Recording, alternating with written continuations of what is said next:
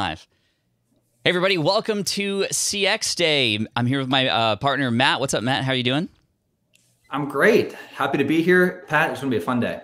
This is going to be a super fun day. We've been looking forward to this and planning it for a very long time. This is a partnership sort of hosted event between us at SPI Media, and you're going to hear from not just Matt and myself, but you're going to hear from our CX director, Jillian Benbow as well at the end of the day. But we're also partnering with Circle here. Circle is the platform we use to host our platform, and it's just been so fun to over the last couple years. And we'll get into the history of how SPI Pro was created and, and what it all entails, and how you might pull information and also inspiration from us to build your own community. Whether you have a community already or not, this is going to be super handy. But Circle and the team, Andy and Alexis, are going to be presenting at uh, noon Pacific today. Uh, so in a few hours. Are we going to go for three straight hours? No. Give us the plan, Matt, in terms of what people can expect in terms of timing here, and we'll dive right in. Yeah, we're going to have a lot of fun today. Uh, we have three distinct workshops. Uh, Pat and I are thrilled to, to anchor this at the start. Uh, so we'll go for about 45 minutes in terms of the, uh, the great stuff that we've prepared uh, and have some time at the back end to have a more maybe open-ended conversation, try to take some questions. Then we'll take a break, uh, allow everyone maybe to get something to eat, you know, take a breather, check your email. And then that's when Andy and Alexis are going to come in and lead us through workshop number two. And I'm so excited for that. Um, and then on the heels of theirs, we'll have another break. Uh, you can again check your email again, uh, do do a restroom break, and then uh, Pat, you mentioned our amazing CX director Jillian. She's going to lead uh, workshop number three. Uh, mm-hmm. So it's nice, it's nice and spaced out. A lot of different content, really exploring this topic of community building from different vantage points and angles. And I think that's what's going to make today just extra special you know, building a business and building online communities is about learning as you go and actually executing. And hopefully, we can push forward a lot of our learnings, our wins and failures across the past couple years. And one of those things uh, that was both a win and maybe a learning experience was our previous event called Audience Driven. And that was very successful. That was a lot of fun. However, it was like, I don't know, eight straight hours of stuff, and it was a lot. So we decided, okay, let's focus on one of the most important topics that people had a lot of questions about, which is community. But let's also break up the day to give people breathing room and time to uh, decompress, but also implement some of this stuff as well. So that's going to be great. So let's go a little bit about uh, let let's go into uh, the schedule of what's going to happen. Again, our workshop today is going to be about audience building versus community building. Those are two separate things. We're going to go into the big differences and why that's important to understand.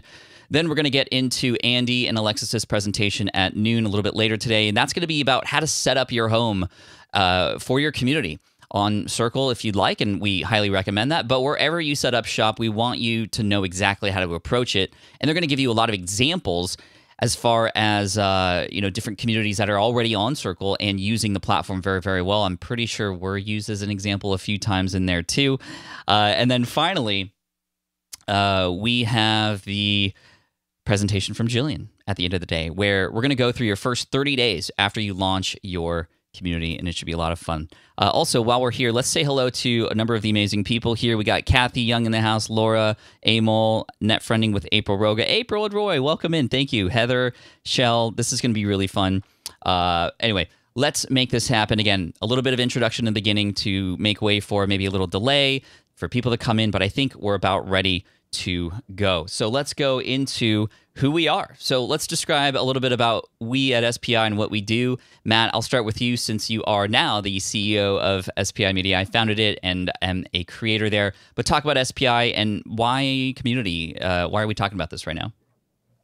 Absolutely. Uh, we, in, in the nature of our workshop today, thinking about audience plus you know, community building is this yin and yang kind of complement to the creator side and even the business side.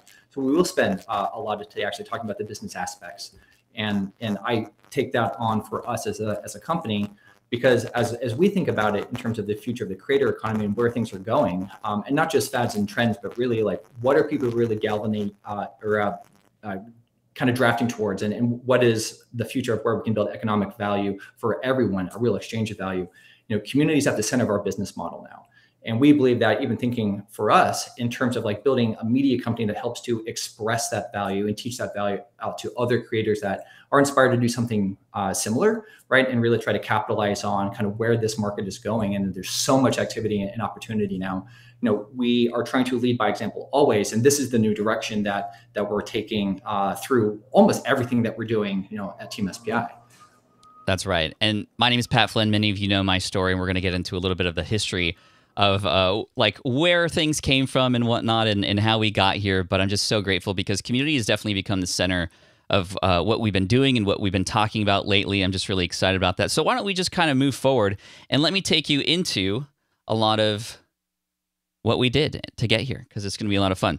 So how did we get here? Well, let's talk about the history. Many of you know the Smart Passive Income blog. This started in 2008 after getting laid off from the architecture industry and as many of you know, I was able to then build a website called Smart Passive Income. This is actually the first iteration. Let me know if you were here back in the day when you saw this version of it. As you can tell, messy start for sure. There were no graphics. I even had a picture of here with me holding a snowboard. I don't even snowboard very often. I had no idea what I was doing, but this is the kind of stuff that happens. You kind of get messy. You have to be a disaster before you become the master. And it took some time, but now our website looks amazing and we are helping tens of thousands of entrepreneurs every single day uh, within our community, online, through organic finding, through you know reaching out to other people and partnering like we're doing today with Circle. It's just been so much fun. But it's been more than a blog, obviously. Many of you know that I have a YouTube channel as well with nearly 350,000 subscribers. Here are some of our more popular videos, some videos being seen in the millions, many, many of them about passive income, others about presentations and podcasting as well, which is really neat. And of course, speaking of the podcast, let me know in the chat if you happen to be a listener of any of these podcasts. Some of these are already in existence, some of them are also up and coming, by the way. But all of these are within the SPI sort of network.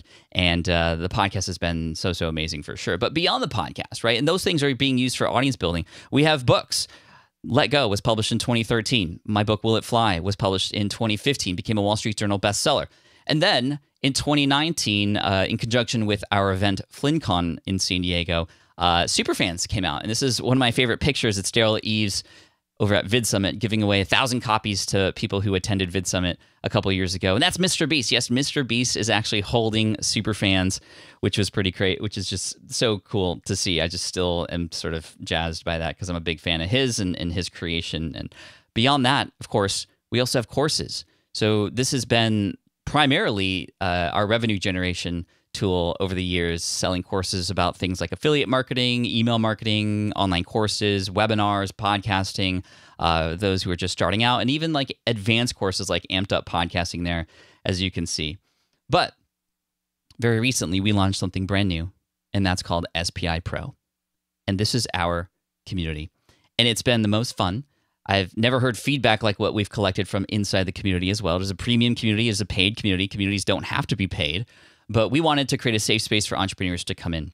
And you know, we have a lot of audience building opportunities, right? We have the blog, podcast, video, books, and also courses to lay on top of that. Courses and community are very different, but we'll talk about those differences and how they can uniquely support each other as well.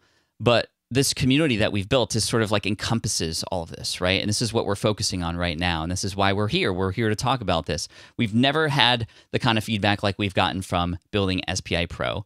And Circle.so is the platform that we've been using to host that, which is really cool. And as we have been building the community, we've realized that these tools that we've put into place, and yes, social media is included in that for sure, these items all help support and grow each other.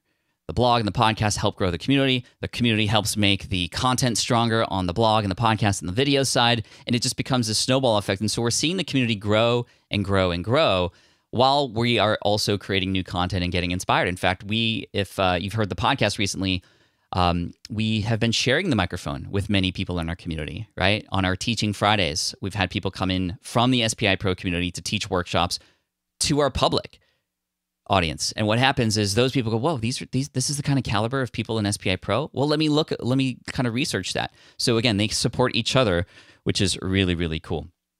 Also, want to give a big shout out to Jonathan and Jillian, who are in the chat as well from Team SPI to help support. Uh, thank you for that. And again, this is why we're here today in hashtag CX Day if you happen to be using this on social. And so let's talk about it. The seven, actually, it's actually six, uh, six vital differences between audience building and community building. And I want to tell you a quick story. So in 2013, I went to an event, and this was when I just started speaking, and I always knew that I wanted to bring my audience together in different ways. So going to this event, it was called FinCon. I don't know if you perhaps have heard of FinCon, the Financial Blogger Conference. But in 2013, I was there, and I said, you know what? After I speak, I want to rent a restaurant out, and bring all of my people there who happen to be there who know the brand and just have them, you know, meet them all and and and, and say hello. And you know, I knew there were going to be pictures taken. A lot of that stuff gets shared on social, which is great. So that's great for business and stuff. But I wanted to just bring people together and say thank you. So we rented out like this joint, and there were a ton of people there, as you can see. But what was re- really interesting was that at the end of the night, you know, I did my best. It sort of felt like a wedding, only like two second conversations with a whole bunch of people. But at the end of the night, I remember there was one person in particular who I saw.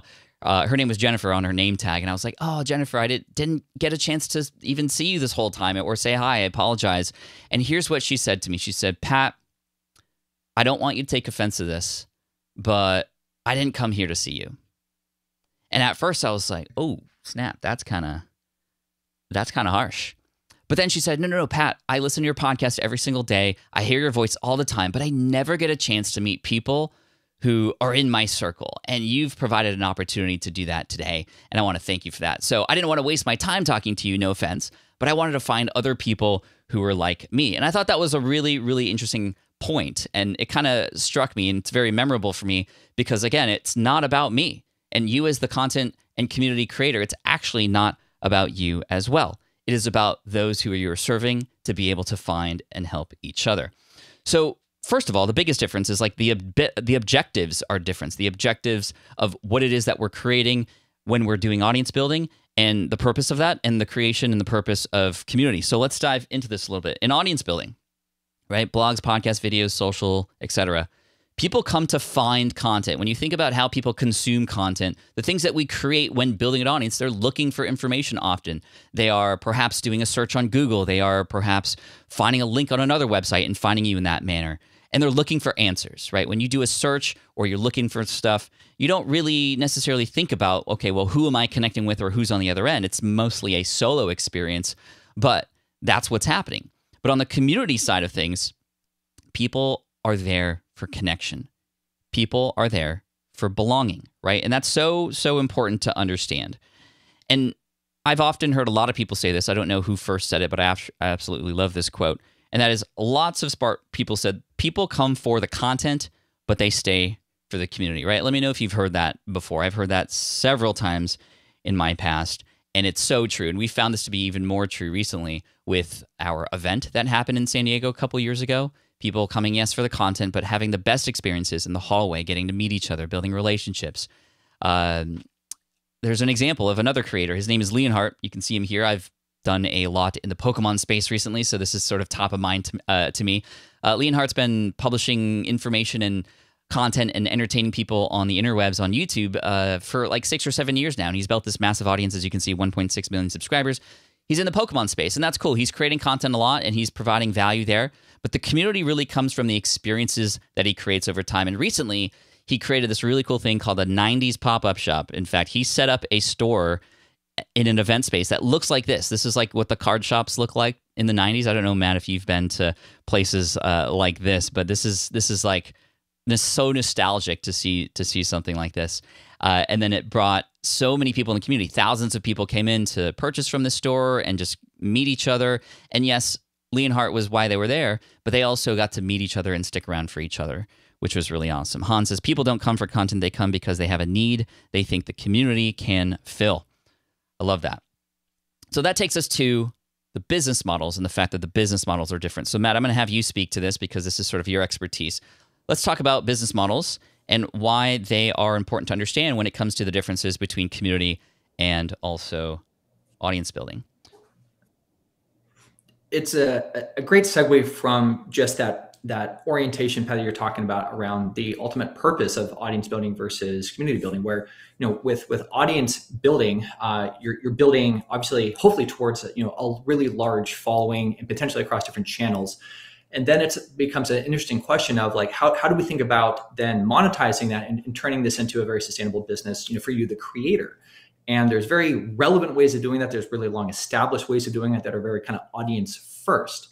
Um, but it does remind me going all the way back, Pat, talking about some of like the early days, you know, uh, 2008, 2010, you know, around, you know, this very classic phrase that your blog is not your business. And, and that phrase, I bet a lot of you have heard of that, uh, especially if you've been online uh, for a little bit like Pat and I, you know, that, you know, and, and you can replace the word blog with, you know, podcast or, or a lot of different uh, other kind of channel types. You know, is that you know we have to think about that intersection point between the audience and then ultimately something that's going to generate the revenue to support yourself and hopefully continue to grow in a capacity where, you know, if you're not being able to put full time attention to your creator business, you know, you want to get there at some point, and then maybe when you know you've been able to establish that beachhead and now you're full time, you want to grow that further and be able to reinvest uh, back into that business. So, you know, with an audience uh, driven kind of business model, you think about potentially ads, uh, you know, on a podcast. Uh, you think potentially just about maybe sponsorship deals that you're working with, you know, different brand partners or retailers, maybe merchandise. Um, you're thinking about different forms of ways of again thinking about the audience channels, um, and again putting business uh, mechanics kind of around that, right? Um, you know, very classically, there's you know PPC ads, you know, and different things that again you can do uh, on an audience side. And so much of this is about you know this attention factor. Um, and there's it, it's increasingly at least for us at spi and, and what we think about uh, and we think critically about and what we talk about. And, and this is potentially you know, something of a spiky point of view but you know the the attention game is getting harder. And i think we you know maybe to to a significant degree can can kind of rally around that notion whether it's social media or even podcasting uh, and these are all very noble pursuits, but you know, just because of the way the world works, the internet, and just this explosion of more and more content, and it's not slowing down, um, people are increasingly fracturing, you know, their attention across so many different channels, so many different creators, so many different businesses. So, like, that's it's a bit of a rat race, right? And, and you have to do that, that. That's a part of the game. You can't you can't completely not build an audience. But how do you then think about building the business, and how much of your business are you going to stake in some of these these business models? uh, and revenue streams that are you know either 100% rooted or very strongly rooted in just the audience factor alone and this stands apart from then thinking about community and, and how we think about okay in a very different capacity how can we bring people together in different ways shapes and forms and the way that we think about it is that you know it's almost a, a, direct line item kind of comparison there and you can see it on the slide is that it's really about retention. It's not about um, attention and just trying to get more and more people to subscribe you know to the podcast or to the youtube channel. Again yes we want that but once we get people to really engage with us and engage with each other, uh, as Pat, you were mentioning previously, to really get to know each other, to be able to build relationships with one another, mm-hmm. and to move from uh, an experience point that is very, a very solo endeavor and then into a more group oriented you know, endeavor, we care a ton about retention. Uh, and then this again uh, illustrates what we can think about critically in terms of like building a very well structured and sustainable business model. These are subscriptions, you know, uh, and membership tiers, uh, and platforms like Circle are phenomenal in our ability to then be able to do that very, very easily. Uh, we think about coaching programs, um, and not just like one-on-one coaching programs, but you know, small group coaching programs, private group coaching programs. How do we facilitate those? Well, also, you know, we can use community-oriented platforms like Circle to even facilitate uh, you know small group coaching practices if, if you choose uh, to grow a coaching practice and you want a more community centric you know business model and, and experience for your students you know this would be a fantastic way to really embrace you know, a lot of the mechanics and the power of community.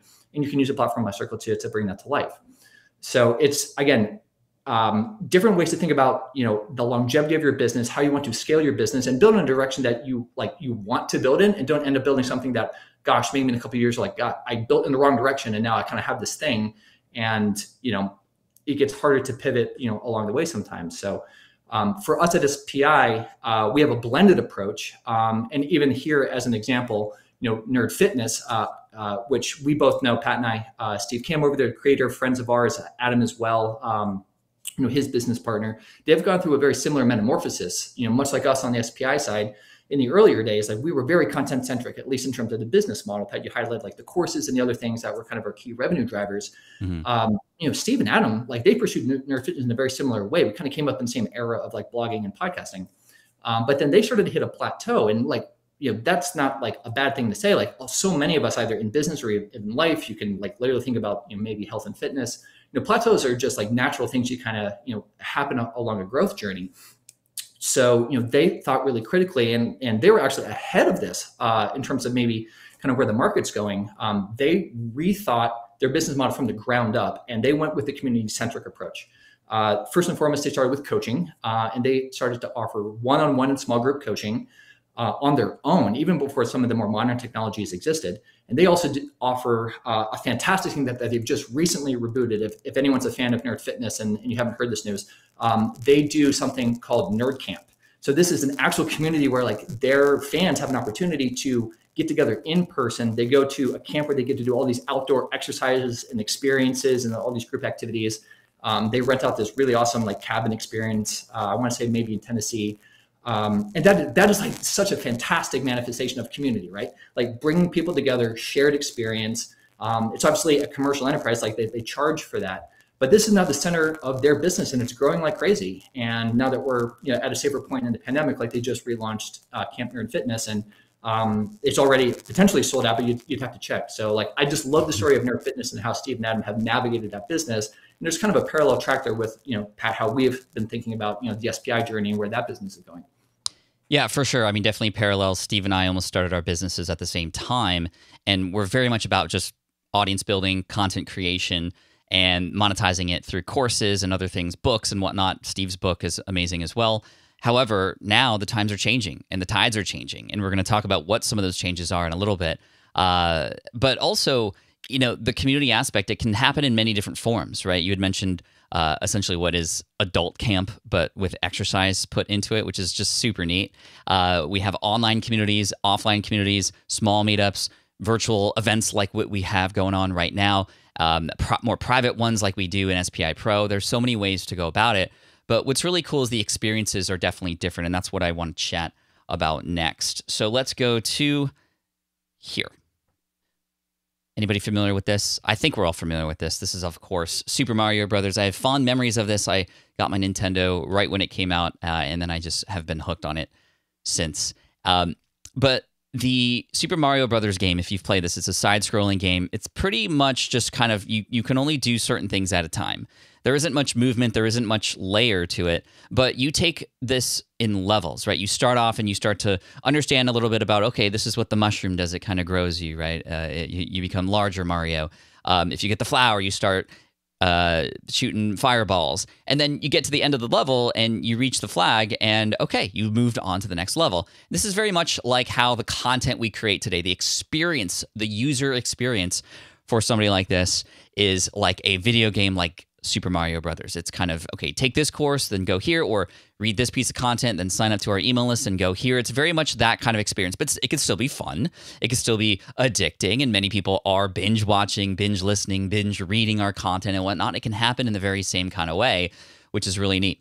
But there's another game out there that maybe better describes what the user experience is like for us who are creating communities, and that would be a game like this.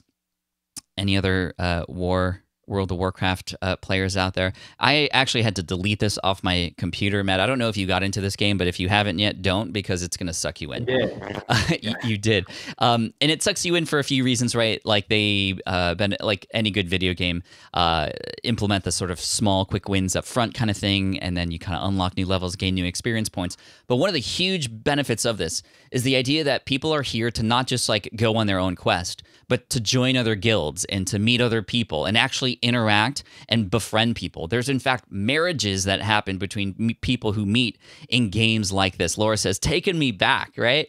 And this is the beauty of what it is that we do as, as, as community creators. We now have the tools like Circle to be able to create these interactive experiences that now have more than just a linear passage, but there's so many different dynamic opportunities to happen, not just between yourself as the creator and your audience, but your audience with each other. And that's really where magic happens in the brand is where community comes to play. So the experiences kind of differ in many different ways. Let's talk about learning and the differences between learning from a consumer's point of view and from a audience member and uh, audience member and then also a, a, community member so let's talk about the consumer right a person reading or watching or listening to you the feeling of consumption of your stuff is pretty on their own right it's like kind of solo you're kind of doing it on their own and yes you might have the opportunity to share stories from others, which make them feel a little bit more connected as you are sharing maybe testimonials or case studies.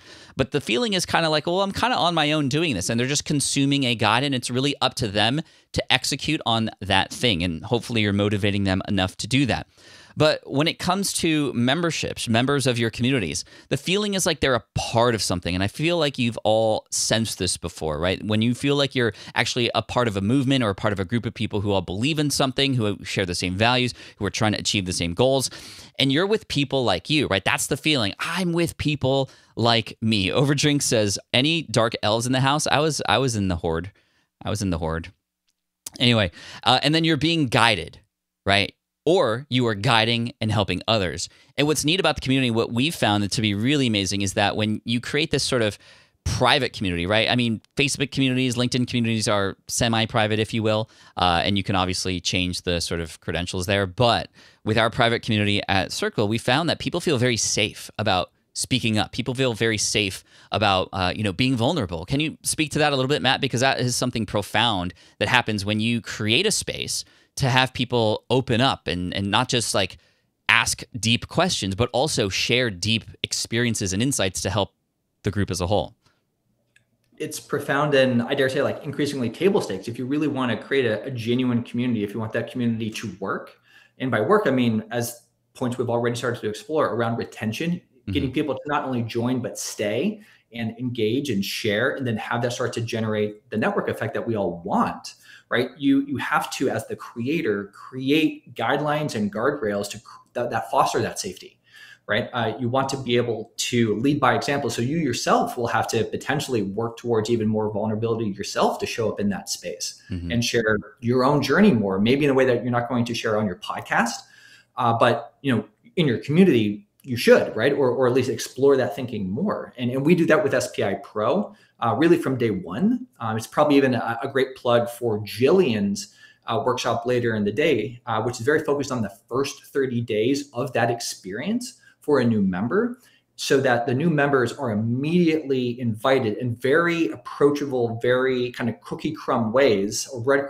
breadcrumb ways to like take small steps, right? To start to share, to start to explore, to start to meet one another one on one, right? These are the things that when we talk about community experience, you know, with emphasis uh, uh, on the experience side, right? And, and that's what we at SPI, that's why we don't just call it like community, you know, you know, in the industry and, and Pat, you know, I know that you're talking with a lot of other creators just about like community, community building. Mm-hmm. We're trying to take even a stronger approach and say, no, it's not just community, it's about the experiences that matter the most. So our team internally and why Jillian's like title is CX director and not just community director is we care so much about experience that we've sort of inserted that into our, our like our vocabulary and for shorthand we call it cx so yeah, yeah it, it's about being able to create that space and then live that out yourself Exactly. Hence CX Day. It's not Community Building Day or Community Business Builders Day. It is Community Experience Day because when you create those experiences, you get that sort of Disney like touch point that uh, allows a person to then spend, you know,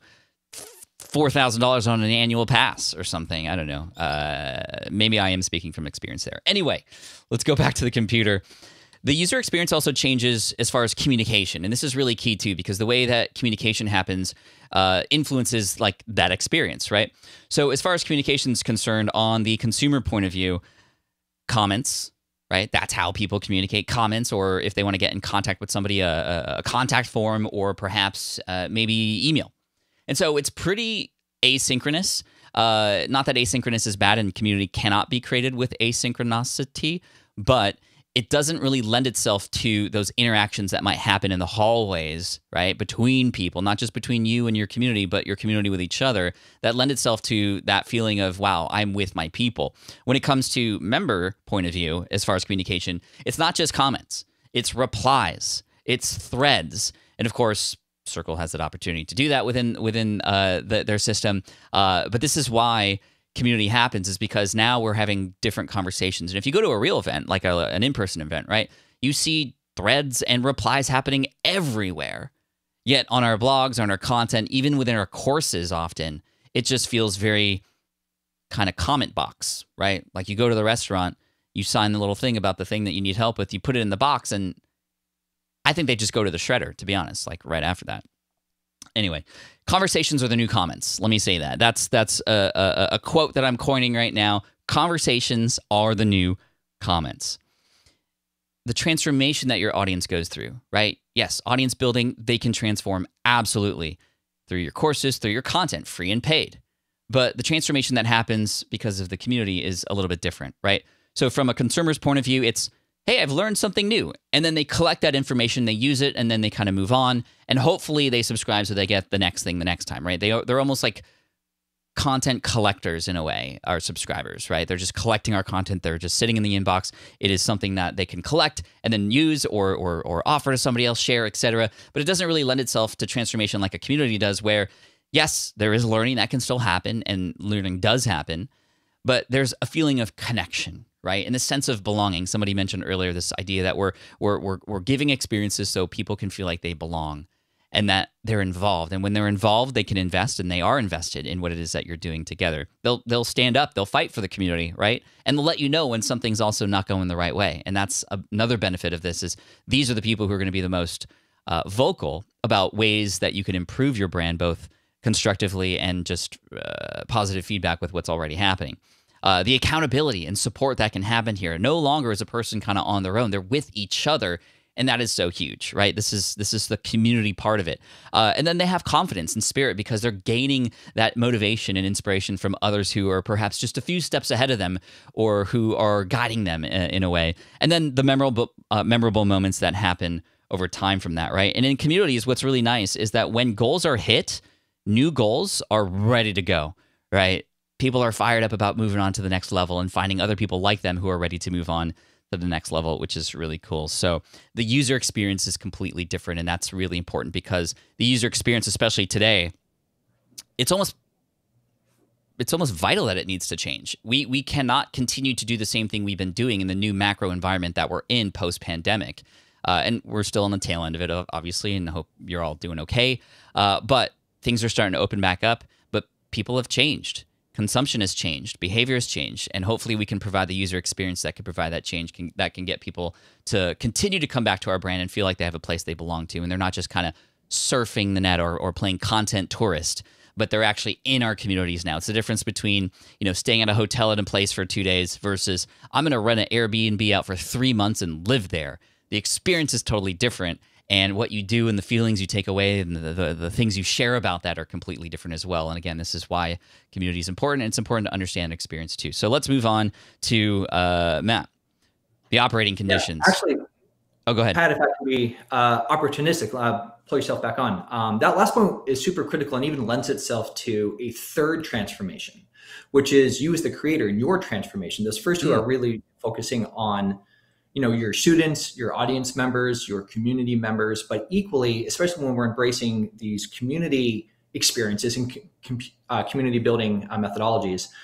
your ability to learn your feedback loops with other people that care enough to tell you something and tell you something honestly is profound and faster um, a lot faster than through like just the pure audience building channels. Maybe someone will DM you on Twitter or something like that, and that's great. Mm-hmm. But to be able to have a smaller, potentially more trustworthy group of people that care so much about you, especially if you have a paid community like ours that are actually then investing into this experience, then like what we have seen, and we know this from our, our own uh, I guess, two year endeavor here with community building through SPI Pro is our ability to learn about like where really where are the future needs of our students and our members uh, in a more you know nano way in a smaller way and sometimes these smaller little details are just so magical and so important like they're, they're they lead to bigger unlocks so please if you're thinking about yourself building a community don't discount the transformation uh, the positive transformation that you yourself can go through if you choose to you know uh, invest in this in this endeavor hmm.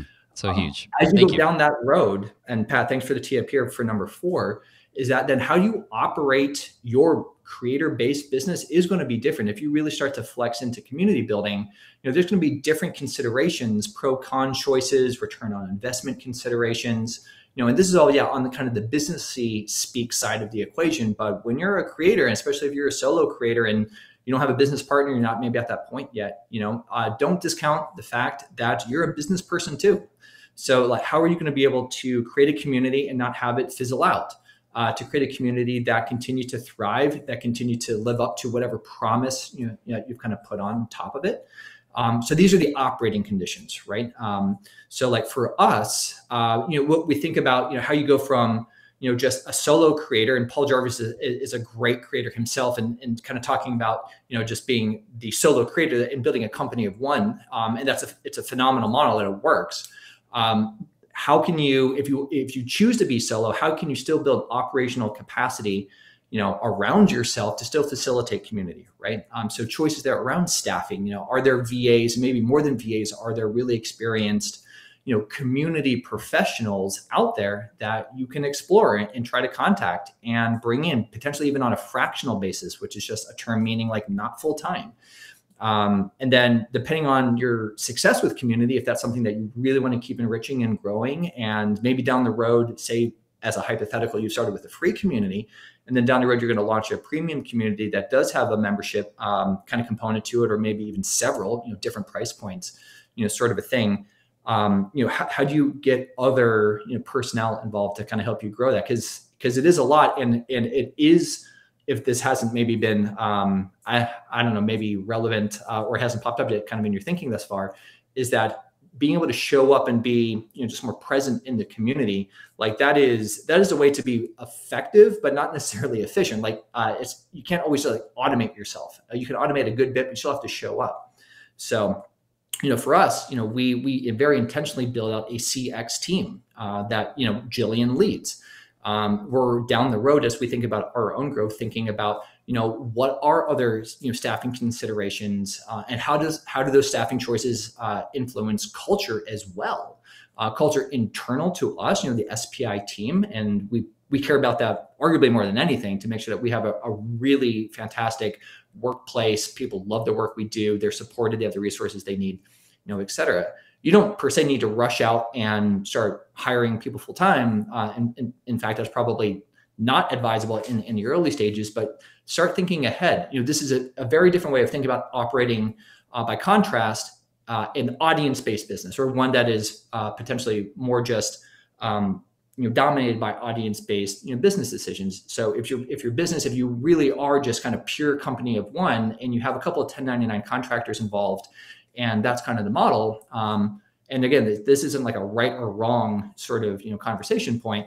You know audience-based businesses like your business uh, model yes as we've explored is going to be different. That lends itself to different thinking around staffing. Culture honestly then is less important because you don't have a team that are employees and different uh, kind of considerations there you know to, to necessarily worry about um, and you can be even uh, arguably more efficient with audience-based business models. You can automate more. Things can be more programmatic. You can build more automated funnels for example. Um, but on the com- community based side, yes, you can automate things, but again, like you got to show up, you have to do programming. Jillian will talk a lot later today about the programming that we do within SPI Pro, uh, even within that first 30 day period. Uh, you have to show up and answer questions, especially in that first day or two when new members join, and they're hopefully sharing a little bit about themselves when they when they first join, and kind of you know, hey, um, I'm Matt. I'm you know just want to introduce myself to the community. You have to show up authentically, and that's that's real time. You can't really automate or fake that, right? Um, all of this kind of leads down to that last item there, you know, which is costs. You know, there's always going to be cost in a business. You have to figure out, you know, what is the most responsible way to to spend money, you know, as a creator on your business. And you know, people is, is oftentimes, and it's true in our business, you know, people is uh, or people as a cost, you know, is is the largest kind of component uh, of our operating model. So you know, there's always going to be cost, but yeah, how you spend those uh, those dollars are going to be very, very different if you pursue again an audience based or primarily audience based business model versus a community more commu- more community centric based business model. I mean, you are the operations master, Matt. You helped uh, take my business from kind of scrappy entrepreneur, right, to where it is now, and, and and and the team and all the things. And when it comes to building community, that was something that you were very adamant about. It's like we can't just like set this up and just like it's good, good to go. Like we have to set expectations for what's going to be required. And of course, there's different communities at different levels. And of course, if you have a community but you don't have a lot of time, then you want to make sure you set that expectation that you're not going to be in there all the time. And that's okay too, so long as there's value being uh, sort of provided in there in some way, in which case maybe it is more content centric with some events happening here and there when you can versus our community, which is very much centered around events and connections and masterminds and uh, continual conversations and whatnot. So again, knowing where you're going uh, is really important, but also you could grow into things too. You could start out solo, right, Matt? And then over time, as revenue starts to go up, you can then hire a team member to be in there in the community more so you can do more uh, marketing and more other things like that, right? And so, what would be your number one tip for staffing a community? for staffing a community, uh, there are already, and I know it's a bit meta, but like communities out there of community professionals. There's CMX Hub, which is a great one to go to. So when we were recruiting, uh, and I led a charge on this, you know, from you know the early days, like we didn't have a community team, Pat, right? Like mm-hmm. this was like, okay, how do we, with vision, think about what we want to build towards, and then knowing that we're going to need that support structure. So you know, I wrote out the job description. I had the vision for what I wanted that role to be and then started to network and you helped with that in terms of like where can we start to find other pockets of people online that aren't just maybe marketers trying to learn community but are already community based professionals and this resulted in jillian she was my first hire you know uh, full time on onto the community team but you don't again i think to your point or your question have to hire like full time there are communities out there of community pros you can engage you can find people on contract um, you know, uh, it reminds me actually of Seth Godin's uh, community. Obviously, Seth is fantastic. He's super smart and is pioneering of a lot of stuff. He had uh, an alt MBA community. He's done a couple different things. Like Kimbo was another one, mm-hmm. and you know that was even another again kind of pocket of people that you know we were able to kind of get access to and have some conversations with. We invited them into our our recruiting process, um, and there's great people there. So like it's being able to like know where to go and start to kind of find these connections, uh, which is a really important factor. Thank you. Uh, th- there is one, if I may, one other thing to kind of draw out there, though, and you're, you're sure. starting to talk about around like experiences within the community. Um, it reminds me in that in this capacity of our, I think, mutual friend uh, Corbett Barr. So years back, he started a community called Fizzle, and it, it is a community. It's a membership based thing, but his model um, was content, and I think remains kind of content centric, right? Mm-hmm. So that's a way to kind of find a little bit of a hybrid nature kind of inside the frame of community building where you don't have to staff up huge. There can be more automation there because because the delivery you know mechanism and, and the value promise is more kind of still self-service. There's content there, right? Where ours is very intentionally, and you and I spent a lot of time talking and debating this on the front end, you know, Best Fit Pros, like we chose not to have it be content based. We wanted the experiences, the challenges, the meetups, the special events, and all these other things. So as you as a creator right. as you're processing this and going to hopefully takes home some some takeaways like think that through and kind of understand like okay if i make this decision or this other decision these are the downstream kind of consequences or implications of that Thank you, Matt. And we specifically chose to go the direction we did because of a lot of the stuff I'm about to share. By the way, quick little check in with everybody. How are y'all doing? You getting a lot of value out of here? Give me an emoji in the chat if you happen to be enjoying yourself. Uh, that energy will come back and I'm going to give it back to you. So, again, thank you. We're talking a lot of high level stuff about uh, memberships and communities right now, but don't worry because later in the day we have some workshops that are very specific, including the next one with Andy and Alexis about actually how to build a home for your community and examples from other communities and exactly how they do what they do. And then later on this afternoon or evening or maybe morning for some of you on the other side of the world, uh, Jillian will come in and give you the roadmap for your first 30 days after you create your community. And even if you already have a community, it's a great reminder, or you might be able to pull some things away from that. But the reason why we decided to go in this direction is because specifically, the marketing forces are changing and they kind of have changed in a, in a way, you know, and I think about how it was when I first started. This is back in 2008. Um, it was all about providing value and content on on our different hubs, right? From the podcast to the uh, blog, and then later on on video and, and in books and other things. And it was great because back then value was having that information and being able to package it in a way that was shareable. And that's still useful. That's still valuable. You could still charge for that, of course. We still do with courses and whatnot. Thank you for all the emojis, by the way. I appreciate that. Ronaldo, Sa- uh, Republic of SAS, uh, Jen Yi, thank you so much. Uh, Anmoy. Um, but lately, as many of us know and have experienced or are experiencing right now, it kind of looks more like uh, like this it's just like we're getting fed so much content, right? Content, content, and you know, some of it can be maybe healthy, but maybe most of it isn't. And we are definitely suffering from what I like to call content bloat, where value isn't necessarily just being able to find the content anymore because that content is usually freely available and accessible everywhere right? I mean, this this plays a role with like I remember our lead magnets back in the day were these very long ebooks about how to do certain things like email marketing and and and create ebooks uh, and all that kind of stuff, and they were 70 pages long and they were getting downloaded like crazy because that information wasn't available anywhere. But now, a 70 page ebook as a lead magnet, that's not going to work because people now have access to that information and value now is how quickly a person can get a result, right? How per, how quickly can a person transform? How little do I have to learn necessarily in order to get the best result, right? And so it's the difference between like, you know, no, no longer is it like the more hours spent or the more content in a course or the more uh, information, the better. This layer of community on top of it gives us the opportunity to uh, not necessarily have to publish as much, but we can connect more, right? And that's that's really what's key here. So to go back to this, people come for the content and they stay for the community, right? Instead of us all individually hoarding or us as creators being responsible for that, right? Like, let's just ram all this content down our audience's throat versus how do we create a setup like this? Nice little picnic. Look at that. I want to be there. I don't know what event this is, but it looks awesome. And I want to have some juice or whatever's in those red cups. I bet Graham is drinking something different there. I don't know. I don't know. Anyway, the big question I have for you is well, who's stepping up in your community, in your niche to create these communities? Right?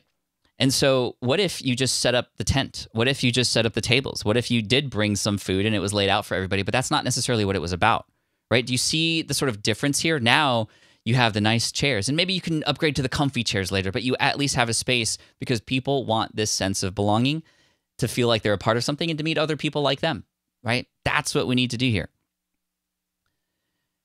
Now we created an event uh, in 2019. It was called FlynnCon. It was in San Diego, and it was for like the super fans in the audience to come in. And we had such an amazing time. Many of you who are watching this right now uh, were there. It's actually my wife and I on stage. We were talking about parenting and overcoming fear and whatnot. My daughter riding a bike, my son swimming. Very hard things for them to do. Anyway, we're telling these stories. People are in the audience. They're enjoying the show. It's great. But you know what else we heard after when we were running surveys?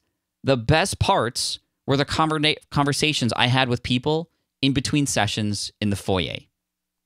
And it makes me wonder as like a event coordinator, it's like, if that's the best part, why don't we just lean into that? Right. And I knew that was the best part or going to be very valuable because having attended a lot of events, speaking at a lot of events, those were always the moments that I remember, right? And the friendships that were made were not made while somebody was talking on stage. They were made after somebody was speaking on stage or while in the hallway or while at dinner or while at lunch or getting coffee or whatever, right?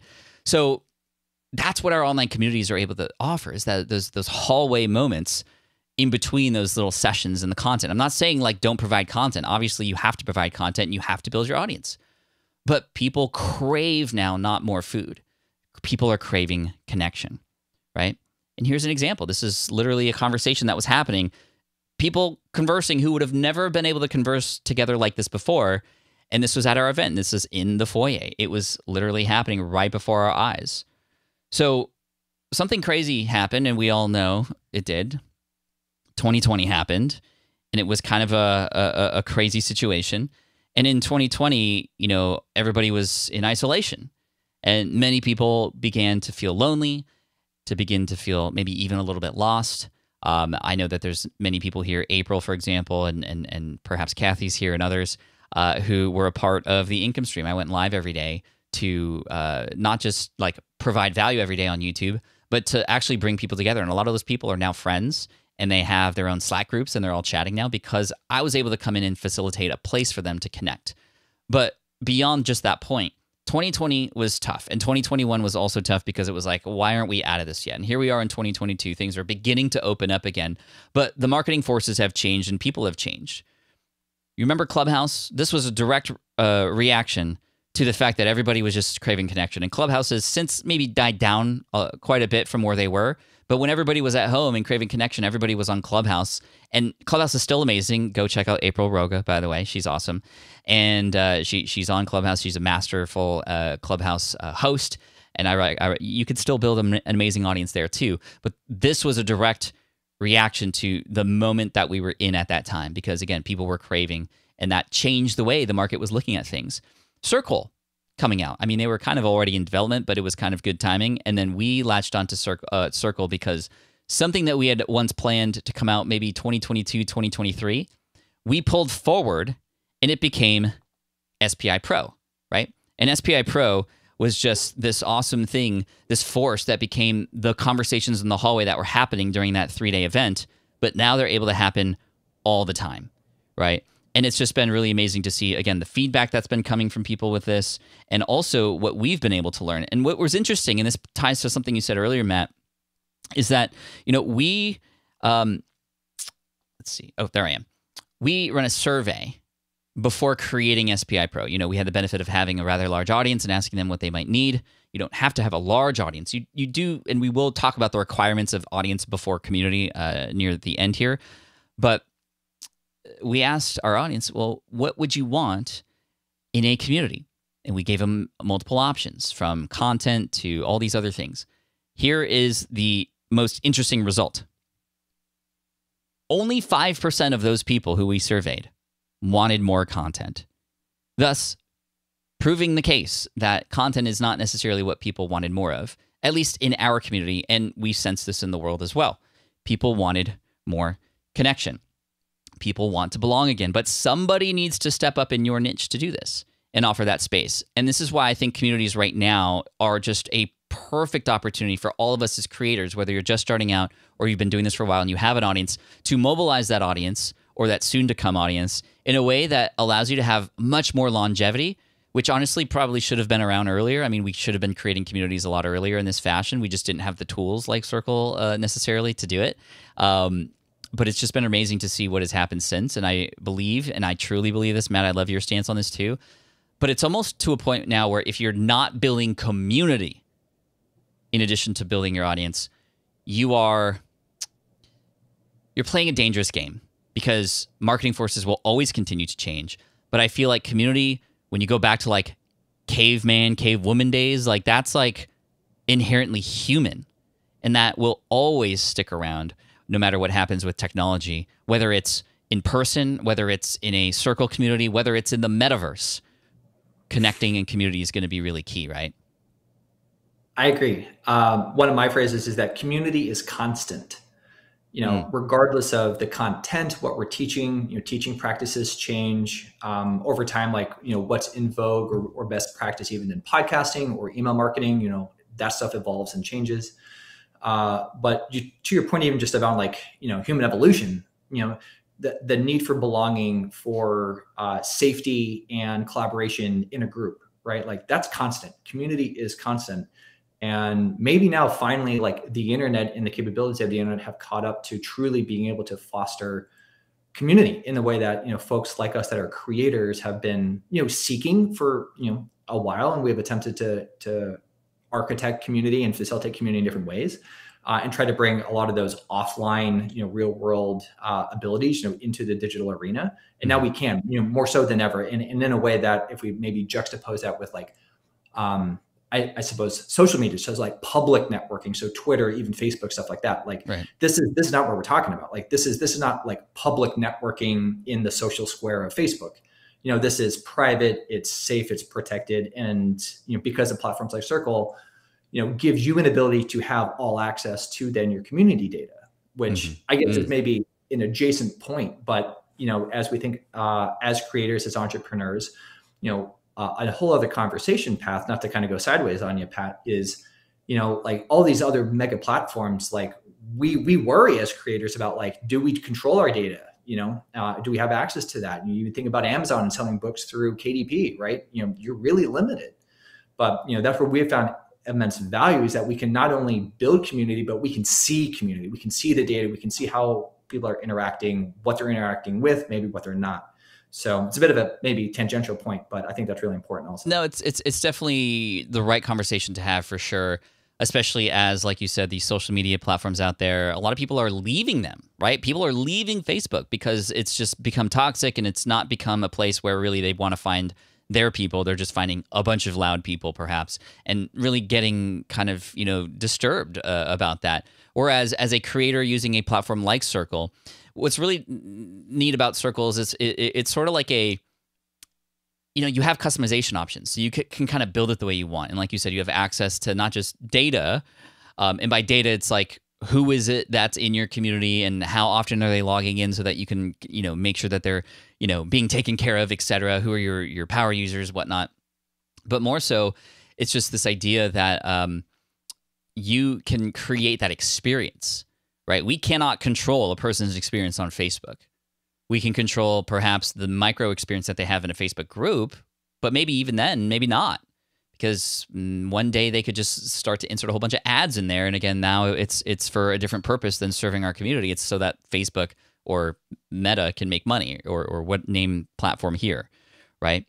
So to finish off this conversation, I want to get into the decisions that we have to make. And Matt, I'll let you lead this because this is really important. But when it comes to, you know, the decisions, the hard decisions perhaps that we have to make at this point, you know, it's different. The the decisions as a um, a person who is uh, you know, building audiences versus building communities. So where do you want to go from here? I think maybe this is the first question we want to answer, which is Absolutely. the decision do, do, do we need to build an audience? And and the answer to this first question is unequivocally yes. You know, it, it is it, it has been table stakes on the internet for obviously uh, a good while now. Will continue to to be table stakes. If you're signing up to be a creator and, and that's amazing, yeah, you, you have to put in the work and you have to pursue audience building. You have to learn those methods and and use those technologies and you know hopefully connect with other creators and you know, especially if you're early stages like that's that's a part of the path but there are more decisions to make and, and this isn't then to suggest you know that these decisions are binary right that a lot of this is like okay how do you make different decisions and then how do you stack your mm-hmm. decisions in a way that is hopefully consistent with your vision with your passion what you want to teach and the outcomes uh, you know that you're pursuing not just for yourself but definitely your students you know and your community members so beyond just the, the need to, to build an audience and where uh, which i suppose is another like finessing decision you know, uh, are you best on camera? Uh, and YouTube is maybe uh, the right place to build an audience versus podcasting. Um, and Pat, you could pop back onto this point, but you know, uh, I think it's it's generally good practice to not try to be everywhere too early in terms of building audience. Maybe try to build like one really strong beachhead on podcasting or YouTube or even social or TikTok, kind of you. Know, And then be able to kind of grow uh, from there. Um, but yeah, maybe Pat, I'll pull you back in even on that yeah. one point and perhaps you might want to reconnect to your AirPods uh, a little bit. They're kind of some bumblebees sort of buzzing around the room uh, from your microphone, but it's all good. But yeah, audience, I think you have to be building audiences. Now, I think there's a big thing to think about here when it comes to, well, like how big, right? I think too many of us, like it, it, it, it's similar to the question when I, you know, I train and teach a lot of people who want to start businesses, and I'm like, what's your goal? And they go, I want to make a million dollar business. I want seven figure the the seven figure business because that's that's the dream, right? And then I always noted that that's usually not true. And so I often go, okay, well, can you write down how much money would you need to live your happiest life right now and have all the things that you would want? Let's line by line by line write it out. We begin to realize that, wow, I don't need anywhere near a million dollar business. Why am I even thinking about going that direction? Because the difference between a million dollar business and a 120K per year business or even a $60,000 a year business is totally different. And that differs not just in terms of money and savings and all that kind of stuff and what you charge and who you, you who you who you help, but with the community that you might potentially build. Right? So how big of an audience do you need in uh, in order to build a community? I mean, there's not a specific answer, but it's not nearly as big as you might think because a community could be 5 people right, to start out with. And you create these amazing experiences. A community could be 10 people who meet in person once a month and just go running together. A community could then grow from there, or you might just keep it small. I know that there's a lot of very profitable communities who keep it very small because it's more intimate that way. I know a group of writers who teach authors how to write, and they create these massively premium experiences, but they're not opening it up to millions. They don't even want that. They want just the few people who want to go on these journeys with them and that is a tight knit community as well, and they're making money from that too. So Matt, you want to come back in and we'll test your microphone? Yeah, sorry for the uh, the glitch there. Hopefully this is a lot better. Pat, am I coming through okay? Yeah, you're coming through okay. Okay, great. So sorry guys about that, but yeah, to to the point around just like the size of the community.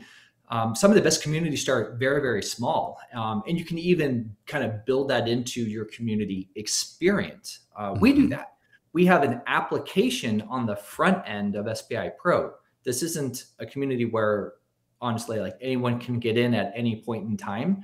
You can't just put in a credit card and join SPI Pro because we are we have used that to be deliberate in quality control and making sure that you know we are a right fit for a particular type of creator and entrepreneur at the right moment in, in that person's journey. So yeah, you can start small. We started small. Um, I think of you know Josh Hall building his little community. Uh, that's more like a coaching based uh, community. He's doing really well, and that's in its early days. Um, but you know he's being very deliberate, you know, in that capacity. So, you know, there's different ways to think about, yeah, uh, the value of staying small, probably, you know, for a while, learn, kind of get those feedback loops going, and then be able to play forward a lot of those learnings into like the next iteration of your community. Now let's talk about the idea of the fact that, well, do we need to build community? Is community for everybody? Matt, I'd love for you to speak on this because chat, we don't want to just do this because everybody else is doing it. I personally think everybody should do it, but you shouldn't do it just because of that. You should do it because of specific reasons, and maybe now's not the time. But for many of us, the, t- the right time was is yesterday or today, right? Or today, today for sure. But Matt, can you speak to the need to build a community uh, in, in, the current environment we're yeah. in? I do emphatically believe that as a creator, you need to be able to have a community offering somehow. But that doesn't necessarily mean that you need to build a community yourself or that you are the center point that you need to take on some of these other things that, you know, Pat and I, you know, we have explored today around, you know, staffing, maybe needing to build a team. How, how do you uh, moderate that? Uh, a lot of maybe the technology stuff. Um, if you really want to potentially grow into a real authority in your niche though then yeah maybe because if it's not going to be you then it's going to be someone that's going to do that right but there are some other options. So like as you just think about partnership opportunities or collaborations right things that already in the creator space we do right? We do podcast swaps you know we do tiktok swaps and like different things. Is there someone already out there that's maybe maybe for different reasons a little better positioned to build the community uh, that's in a similar niche or, or, genre topic that you can partner with, you know, uh, and that can open doors to more creative thinking, to more even like business collaboration thinking. So, like, I guess the invitation here is to not be so maybe binary in a thing of like, I need to build community or not. It's mm-hmm. like, okay, what's the best way that I can approach community as something that I can weave into my brand and into my business? And if it's not something that, you know, again, for different reasons, I'm going to take on fully, who else do I maybe know that I can partner with and do some fun stuff with, you know, in the community space? Exactly. I, I want to uh, highlight a few comments here. This one that I'll pop up again from Kimberly. Uh, it's so refreshing to hear grow small instead of the masses saying that it's all about the number of email subscribers and six figure businesses. It's so true. This is a long game, though right? This is a long game. The community building aspect is a long game, but that's important because you want to be around for a long time. You want to build something sustainable and you want to bring something that people can come to and rely on as well. So it is a commitment. I mean, I'm not going to lie, it is a commitment. We talked a little bit about potential staffing requirements, but then also sort of creating the community around what is possible and setting those expectations up front. But do you need a community to win on and succeed online right now? No, definitely not. Obviously, there's many people doing that in courses and books and other things, coaching, uh, software, obviously. These are all other ways to serve your audience. But I think there's an inherent need right now, today, in the environment that we're in, for community. And somebody's got to step up and create that. I mean, if it's not you, it's going to be somebody else, most likely. Right. So, in yeah, addition to this, you know, there's a lot of pros and cons that will have to be, you know, weighed uh, personally for you. I mean, not just, you know, we, we, we did a pros and cons sort of situation uh, before we launched, and you should do one for for you as well because your situation is different than ours, right, Matt? Yeah, absolutely. Um, you know, one evaluation point here, you know, juxtaposed uh, back to like the audience building side is because there's just so much content now and you know, I don't even know the stat anymore around like how many podcasts are launching on average every given day, but it's like wild, right? Is that like if you launch something on the audience side, like as a as a content production, and it doesn't work, it can kind of fade away, and you're and you're probably not going to hear you know too much about it right and that's i guess like a good thing if, if, if you take a risk or you try something new and it doesn't work like kind of maybe no big deal um, on the community side it's a different equation right because mm-hmm. if you launch community and you're trying to do that like you know to, to kind of mix use the phrase but like pod fading right? Like if you, if you launch a community and you do that for three months and maybe you get you know a couple dozen people in there and like it's really impressive. You can't just like fade away. Like the the commitment and the obligation there to me anyway like feels it feels very different. Right. Especially but, if you're charging for it. So especially if it's a premium yep. community that that adds a whole other level of like responsibility and decision making. Definitely. However if you get 12 people in there i mean you have now proven that people in your community want to come together. And yeah. what an amazing uh, um, opportunity that that provides to uh, with a small group.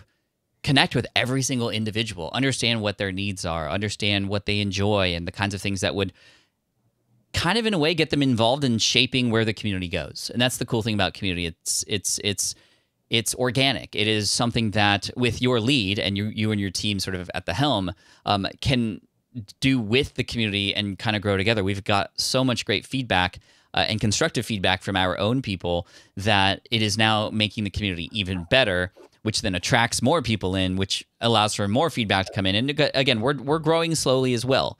You know, we could have easily launched and gone super aggressive and super hard, and if it had thousands of people in there, but that changes the vibe of the community. So I would recommend if you're starting out small and you're worried about that, actually, that is your advantage, right? That is absolutely your advantage. We do have a little bit of static noise back, so I don't know what's going on, but that's okay because we're pretty yeah on your end, Matt. I'm sorry.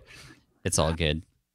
Uh, but we want to finish up by talking about where SPI is headed specifically and some of the decisions that we're going to make, and then we'll get into some questions and answers. So to finish off here, you know, I think it's important to understand that um, you know we're learning too.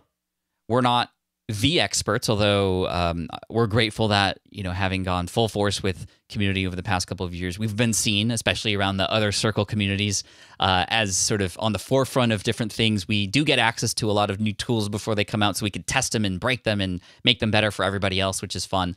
Uh, but we are also very creative, and Jillian, who you're going to hear speak later, uh, myself, Matt, and, and just everybody on the team, we're always thinking about how can we make the experience better, right? Not just the community better, but the experience that the community has better for sure. Sandy says, I'm glad SPI Pro started slow. It's a good community experience. And that's so true. I mean, again, it would have been completely different. And it allows us for more room to make mistakes. It, allows for more grace from those who are in there because we set those expectations about it being new. And if you're launching, you know, you want to launch with a founders group. And uh, Andy and Alexis will get into sort of the mechanics of that. I, I know there were some people asking, when is that going to happen? That's going to happen in two hours from now, essentially at noon Pacific, 3 p.m. Eastern. And then at 4 p.m. Pacific, 7 p.m. Eastern, you'll hear from Jillian as far as like a plan, a roadmap for your first 30 days. But Matt, um, pending any bees in the room, how are we looking as far as SPI in the future and what community means to us? Yeah, hopefully I'm coming through. I'm on, I think, my fourth mic adjustment. okay, gosh, bees are gone. What's happening? You're good. You're bees good. Go, go. All right. Gosh, I freaking hate that. Uh, tech glitch. Anyway, the future, my goodness, it's exciting, guys. Uh, you'll hear a little bit more about this um, in even some of our, our post-event stuff. Uh, but we are launching new tiers this uh, this year. So right now we have just uh, the one membership tier for SPI Pro, which done phenomenally well. Uh, credit to Jillian, credit Pat to you and the entire team for just showing up and really delivering and, and I think exceeding on a lot of expectations that we've set there. But now is the time, two years in, oh my gosh, two years you know, uh, when we get to that June, July timeframe uh, from when we had launched SPI Pro, to like, okay, we've heard and learned so much. Where can we go? So uh, we're doing two things. Uh, we're actually going kind of upstream. Uh, we're going to offer more like business-oriented uh, caliber kind of community, and we're going to offer a more entry-level membership option, more on just education, learning, feedback cycles, but still, again, with with the heart and soul kind of of the community. So that's coming soon. Um, and through us uh, and here at CX Day, and again, this will be shared, I'll think a little bit more about Jillian and some of our, our after event uh, content. Uh, we're actually going to uh, announce here that the uh, what we're calling the learner community um, will be an option uh, if anyone's interested to kind of explore that. Um, so we'll be launching that on the back end of, of this event. So stay tuned for more details on that. Awesome. Thank you, Matt. Um, we have some questions coming in already, which is fantastic. Feel free to start asking your questions because we're going to dive right into that. But we do want to talk about a couple things.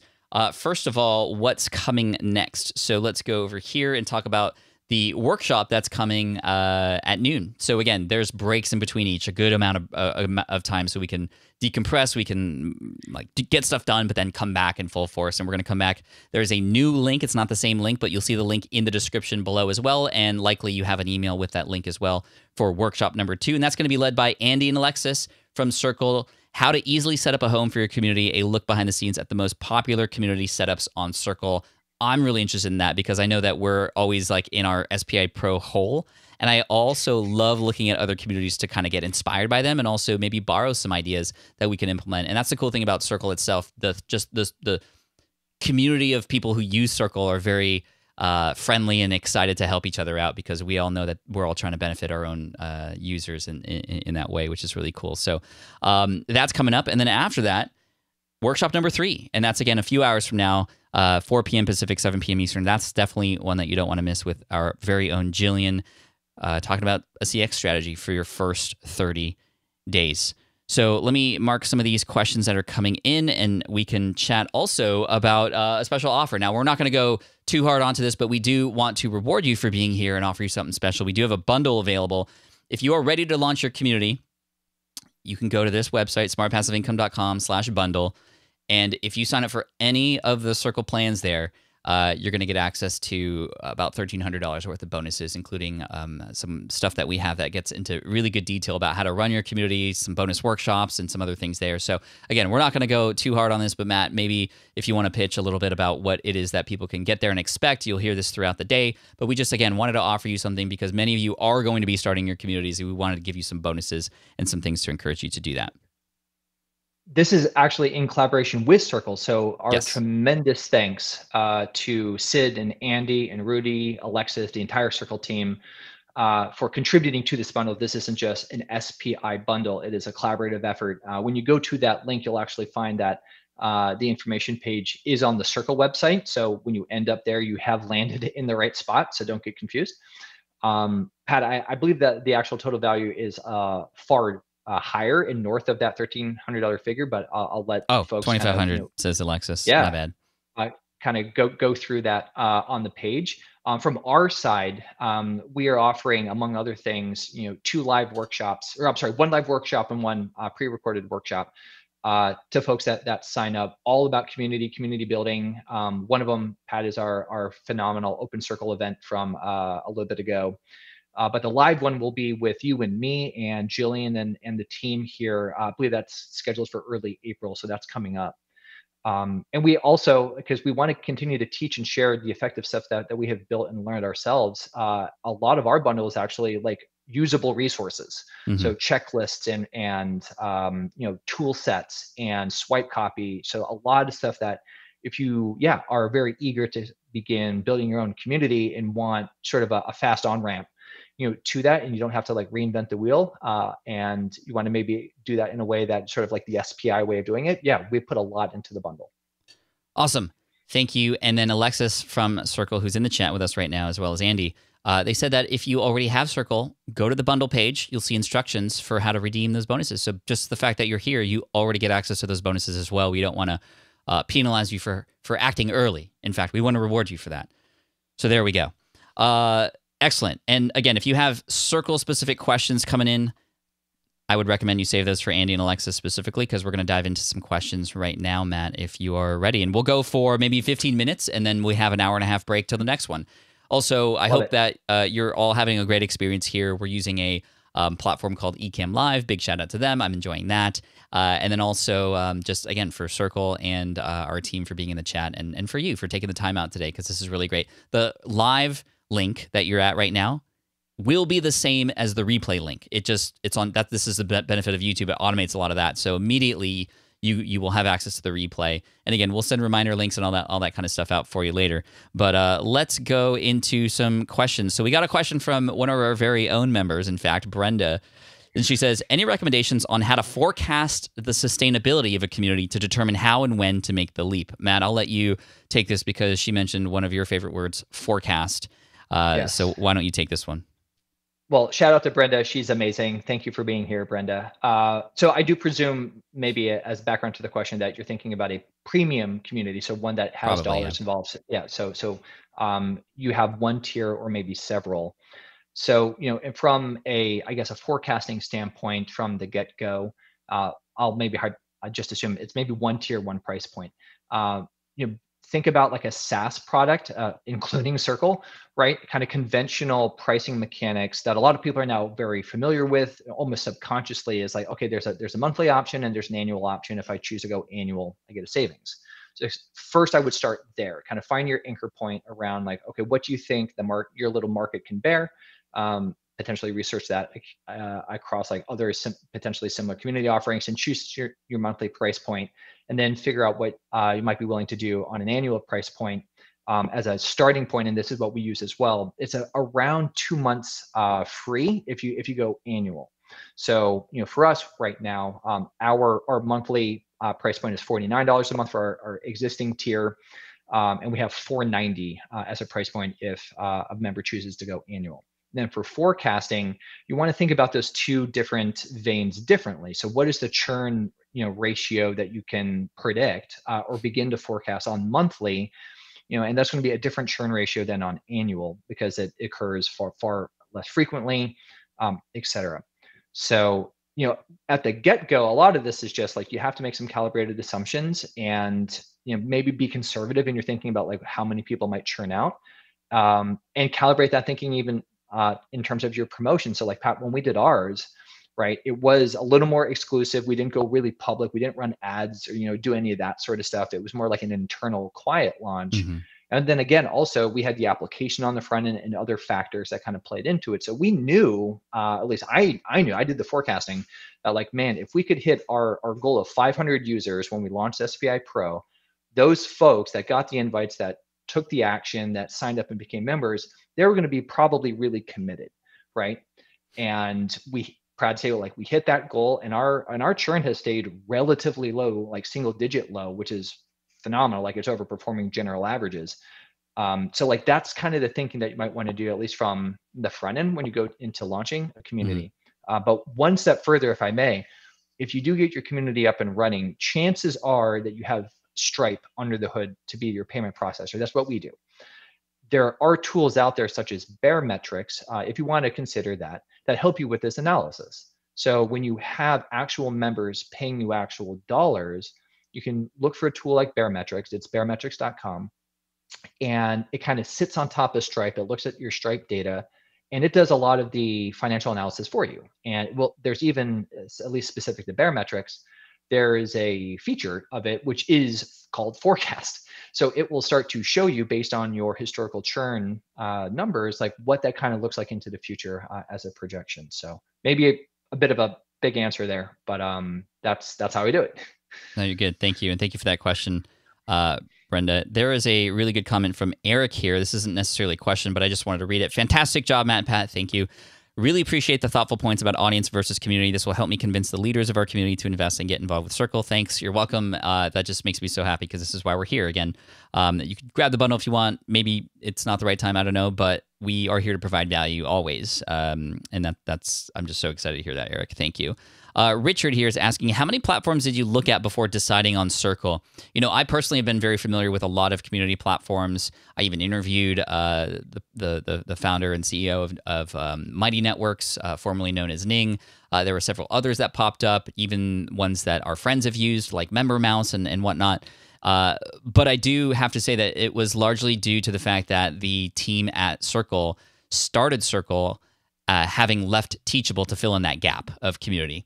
Uh, they were formal, uh, former uh, Sid and Andy were former Teachable uh, employees who just saw this hole and wanted to go in and fill it like so so good, and they have. And just the the like we took a risk, right? I mean, it was a brand new company. We were like, okay, we're going to build a business using Circle, and it's not fully fledged out yet. But since then, they've implemented and implemented fast and are continuing to create some amazing things. And they'll share a lot of that stuff with you in our uh, sort of noon Pacific, 3 p.m. Eastern talk. But um, we did we did some research, but again, it was just very clear that with where they were headed, that they were going to have the tools and resources we needed. And what impressed me the most was not from a creator standpoint how easy it was to set up and use, but from a user standpoint, a member standpoint, how intuitive it was. Uh, just it kind of is like a marriage between Slack and Facebook groups. Uh, I, I, often say, um, but just better, right? Uh, so that's kind of how I kind of helped to stir that decision, Matt. I know that you also sort sort of um, were exploring other options too, because we never just kind of just go, well, there's a, a, software, let's use it, and with it without some research, right? Absolutely. Uh, we checked on all those other options, and to be clear, like those are all good options. Um, so experience again is probably the magic word. So as you want to, you know, deliberately think about what sort of experience do you want to provide to your uh, you know your members like yeah evaluate. Like a, a lot of creators even try to build and, and do build you know private communities right on top of discord or slack right? Mm. uh, i mean we are hardcore slack users just for the company.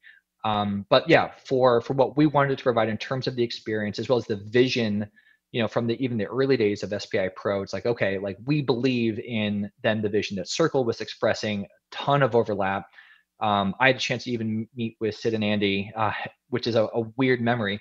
In February of 2020 in New York, they had like I don't know just started a few months in, and obviously that was like you know just weeks away from the whole world shutting down. But yeah that's when the decision was made and kind of just talking with them in person about you know what they wanted to accomplish you know down the road and what we did. And it was just like this is such a no-brainer. Yeah. Awesome. Here's a question from uh, bastian who says would you recommend to gather a couple of people before opening the gates for all or making it open for even the first interested member uh, this is a great question that goes into sort of the launch process of a community. And what I recommend doing, I mean, uh, is what I like to call even like an alpha launch. We kind of did something similar. We brought a tiny group of people in um, for, I mean, I it was like a dozen maybe, um, and it could even just be a couple. I know some people creating communities who just want a few people in there to start filling in some of the conversation areas so that when the beta launch happens, remember, alpha launch, just like literally a couple people who know there's nothing there, right? That expectation is there up front. If you were to do a public launch for the first time without anybody in there, the first people in there are going to have the worst experience, right? And you don't want that. You want to reward those people who are there first because uh, you, you don't want it to be a ghost town that then now has to be populated. You want it to be populated beforehand. So some expectation for some maybe super users or some super fans in your audience or some really, really engaged people to come in and be a part of that and to almost kind of like break things and also recommend what isn't working and, and all that kind of stuff. Again, with the expectation that that's probably going to happen, makes them happy. Maybe you give them a special deal or price to get in or some months for free, whatever. And then you can do a beta launch where it's a controlled, perhaps it's capped with a certain number of people, or it's a certain limited time to get access and then it's closed. And then what you're doing with the larger group, the beta group or the founders group, I wouldn't actually call it a beta group. I think we called it a founders group. And actually, founders in group. Circle, we have every person who is a founding member a little tag next to their name. So we are always reminded that they are a founding member, like a little badge, which is really cool. In fact, every cohort that comes in, because we let people in quarterly, by the way, spapro.com if you want to apply. Um, has their tag and their sort of like initiation date sort of there, which is really neat.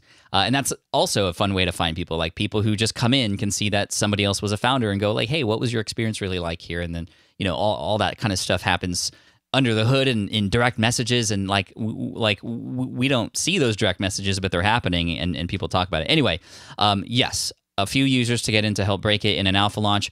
A beta launch that's more of a founder's launch, controlled first users kind of thing fill it out, make it great, break it some more, and then you can go public and wide and either choose to uh, open and close it like we do with applications or just always keep it open. And there's pros and cons to each of those situations, but we chose to go application. Um, Matt, any further uh, conversation about this? Excellent points. I would just maybe emphasize a little bit more the cohorting uh, uh, quality, and not just from like your first launch. So something that we learned pretty quickly was uh, trying to do this monthly, that was our original kind of game plan, uh, was challenging for operational reasons. Uh, mm-hmm. It was also not the best experience. It wasn't bad, but it wasn't ultimately, in our judgment, the better experience that we could provide if we shifted to quarterly enrollments uh, into these cohorts. Uh, so with Circle, you know, you mentioned that our, our founding members and that like little visual tag, but then every subsequent enrollment period, every cycle, mm-hmm. they get their own tag. So then they can find each other. So if you think about if you went to university or any sort of like maybe you know trade association or something, right? And you kind of enroll or like I don't know, like I was a Cub Scout, Cub Scout. I forget Pat if you were a Cub Scout, but like, if you think back to that and you're like get badges together like with your group, like there is there's that like more um like more micro level tribe or, or group, right? That you kind of go through together with and that just right. adds to this enrichment of like oh like i belong and i have my people and we kind of are in this together. So that's just another kind of cool thing to think about. You don't have to do that but it, we have chosen to do that and actually been uh, quite successful. Yeah i'm thinking back to like and by the way, there's a lot of people in the middle of their alpha launch right now. And also, just a little announcement: oh, if if you are already a user of Circle and you want the bundle, it'll apparently be automatically applied to your account when you log in after the event's over or sometime after the event. Uh, we'll we'll we'll give you some correspondence to that and, and, and confirm, but.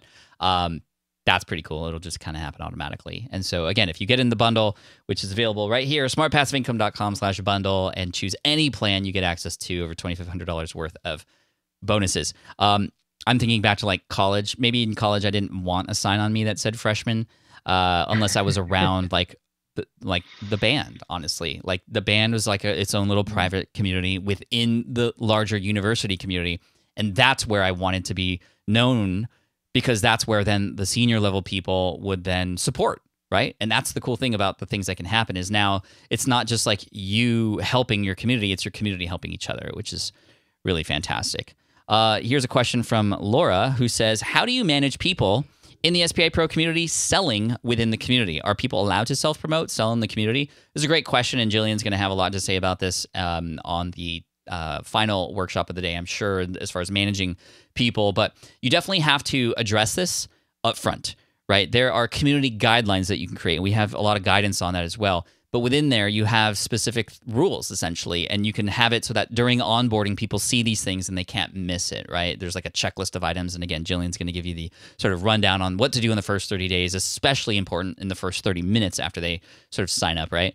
Uh, but to control this, the thing that I found has been most helpful is not say, no, you can't sell because that just almost seems too controlling. And it's like, oh, we're, we're just back to Facebook now. We don't want that. But what we love to do is to set specific spaces for the ability for a person to go in and, and like sell their thing, right? Here is a particular place where that is allowed. And you can do that. Or it might be selling Saturday. Hey, everybody, as you know, you're not supposed to really promote your own stuff here, but it's selling Saturday. So go crazy. Here's a thread that you can start uh, just promoting your stuff and talking about what you're working on. So that way we sort of control that, right? And and I don't know, Matt, if you have any further things about that, but um, you know, maybe you could talk about like how to handle what if somebody does break something like a community guideline, like maybe the best way to handle just to kind of further that experience for for for yeah. people who are listening. Your advice there is spot on. Um, people will want, uh, even if maybe they don't know it up front, like a release valve so like give them one, right? Rather than trying to say like no and, and try to, I don't know, somehow police like 100% compliance mm. to that. because mm-hmm. that's, that, that's when like you kind of create a negative condition or negative experience. And again, this is all about community experience design. How do you design experiences for your community? So set yourself up for success and them for success by giving them an outlet, right? Give them a release valve. Um, but when it does happen, uh, Pat, to, to the next point, and it might uh, still, it might, it probably will, especially at some degree of scale. Um, we certainly do have this. Uh, like always continue to operate with positive intent. So don't like put them on blast. Don't like respond necessarily, at least not first, like publicly to their post um, in circle. Like you can DM them and be like, hey, like just so you know, like, you know, I saw this go up, you know, in this other channel or space and you know that's unfortunately you know against our our policy right or our uh, you know our community guidelines so you know like this sounds great like your offering sounds wonderful but you know you know i'm going to ask please that you take that post down and then let's rechannel that elsewhere right so again give them that release valve and kind of redirect them there Right, exactly. And Jillian just mentioned in the chat here, which is something that I love that we do, is we have our little showcase area where you mm-hmm. actually mm-hmm. have a platform to show off what it is that you're doing. And I love that too because it doesn't become even selly feeling. It just becomes uh, like show and tell and show and teach, perhaps is is maybe the better phrase.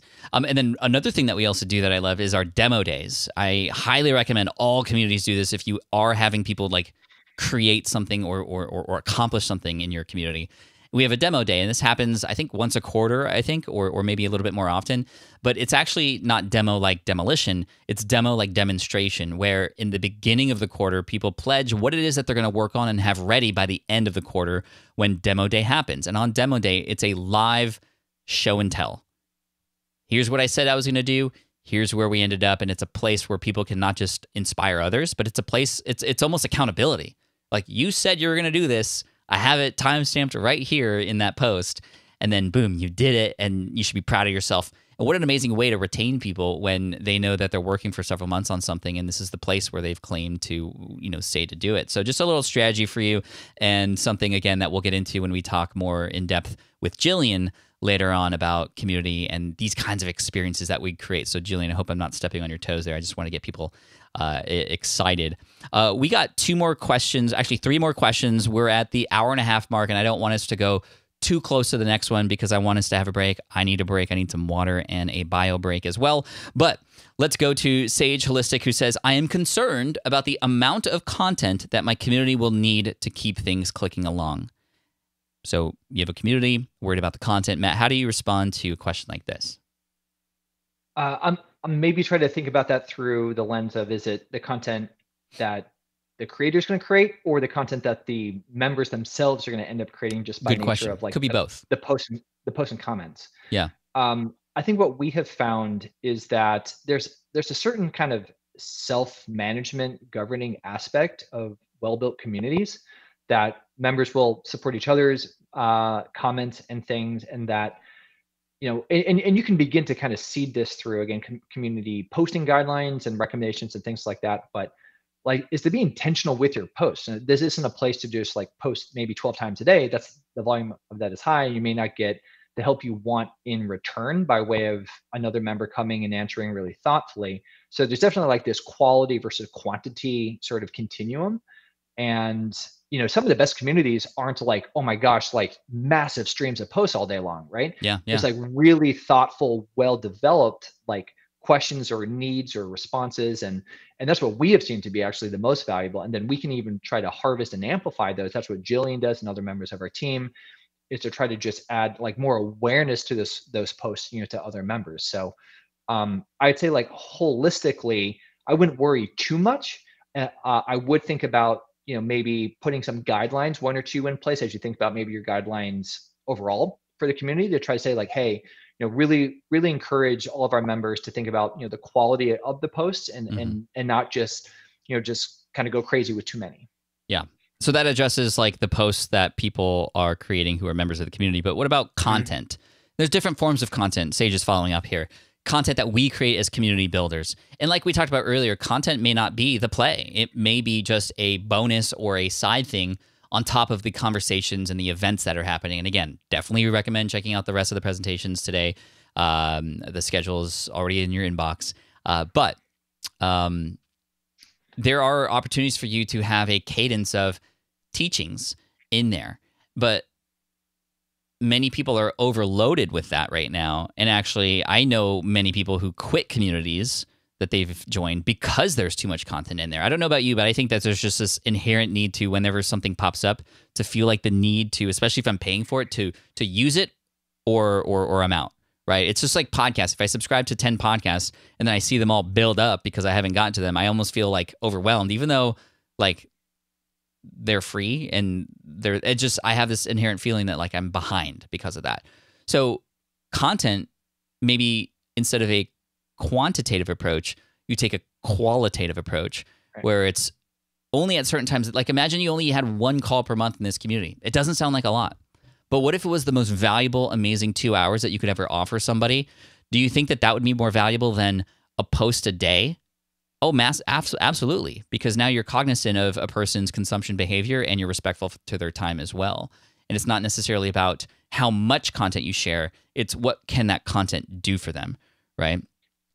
And arguably, at least in, in I guess our vision and approach to community, our content are the events and the programming. It's not it's not like written content. It's not content that again like a blog post or a podcast episode is like done in advance and then you and then you publish it you know it is organizing events or like your demo day reference like that's our version sort of kind of right like of content in the community nice uh some great questions coming in matt you down to hang out with me for five ten more minutes oh gosh yeah Okay. I just want to mm-hmm. make sure we're, we're here for everybody. And again, we'll be back in the chat. It'll be hosted by others. I'll be here as well. Um, but uh, we'll be back in the chat later to, to answer more questions too. But we got Diane who says, We'll be adding our program cohorts into our circle as an added benefit.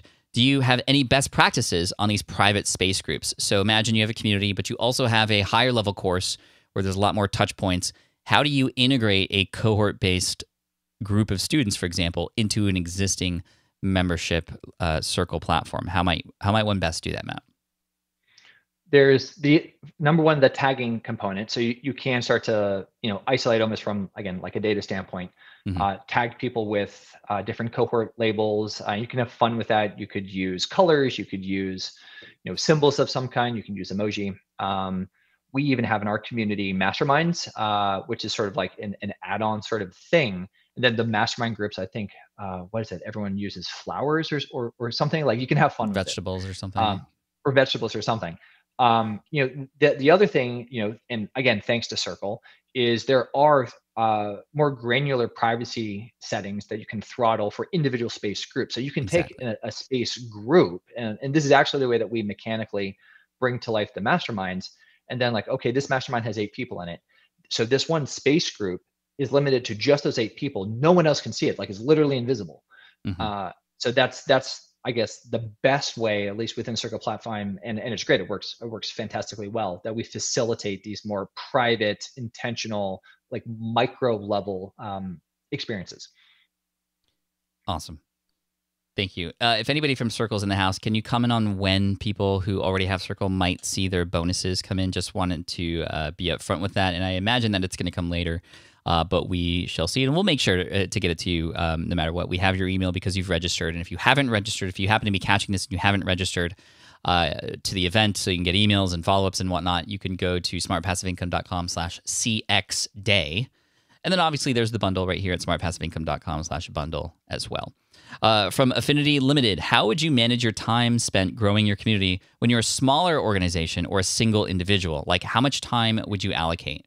Uh, Matt, you spoke on this a little bit earlier. Uh, how would you define maybe specific number of hours to allocate for a smaller organization? Yeah. Uh, for us, and to some degree, we're small, but also not. I want to say we put in a deliberate six months, not like full time, but like six months architecting from vision all the way through uh, t- before launching SPI Pro, um, probably at minimum.